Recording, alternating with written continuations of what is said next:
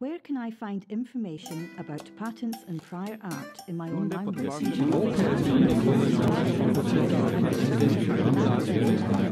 Hi, my name is Tanya.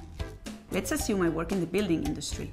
And let's assume that my team in Madrid is working on a smart solution to reinforce concrete. They believe they have made an interesting invention here. Now they want to check whether someone has already sought protection for the same idea. Let's search in Google.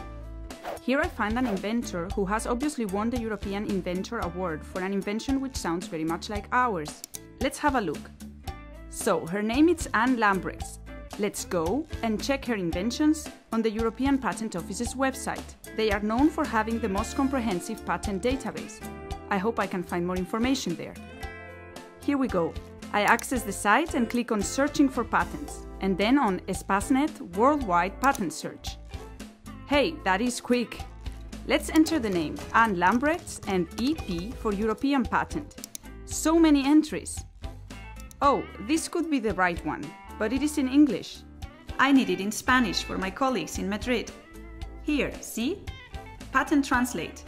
The EPO and Google have optimized Google Translate for the machine translation of patents. This seems to be the link. It translates the patent automatically to the language of my choice. I choose Spanish from the drop-down menu and I open the text to select the part I want to look at more closely. Then I click on Translate. Within a few seconds, the engine provides me with the translation. Now, in my mother tongue, it is easy to find out whether the idea is really new or if it might possibly infringe an existing patent. With this information at hand, the team in Madrid can decide if they want to pursue the idea further or not. Patent Translate removes the language barriers from patent information, free of charge.